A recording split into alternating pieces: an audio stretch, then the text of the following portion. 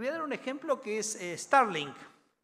O sea, Starlink, no, Argentina no podía proveer internet satelital porque había un papelito que le impedía proveerlo. Y ese papelito decía que no se podía ofrecer servicios satelitales de internet satelital en Argentina si Estados Unidos no generaba una reciprocidad en el acceso de nuestros satélites, que creo que no tenemos, para el territorio americano. Entonces el presidente Milei, yo quiero que la gente pueda usar internet satelital. Y entonces eliminamos ese papelito Sacamos ese papelito en el DNU 70 y eso habilitó para que eh, en muy poco tiempo todos los argentinos tengan acceso a Internet independientemente de dónde están en el territorio nacional.